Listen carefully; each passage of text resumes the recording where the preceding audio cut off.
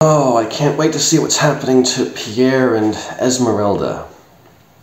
Chapter 14 The Cathedral of Notre Dame.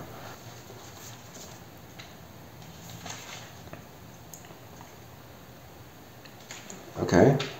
The Church of Notre Dame at Paris is doubtless still a majestic and sublime edifice but, however beautiful it has remained in growing old, it is difficult to suppress a sigh, to restrain a feeling of indignation at the numberless degradations and mutilations which the hand of time and that of man have inflicted upon the venerable monument. Regardless alike. Chapter 15 A Bird's Eye View of Paris.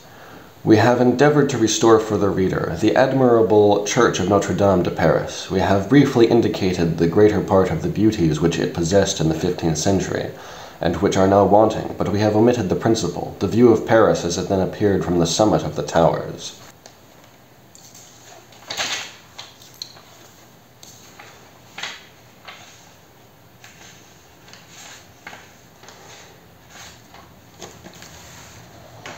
It is an edifice of the transition period. The Saxon architect was just finishing the first pillars of the nave. We repeat it, these hybrid constructions are not the least interesting to the artist, the antiquary, and the historian.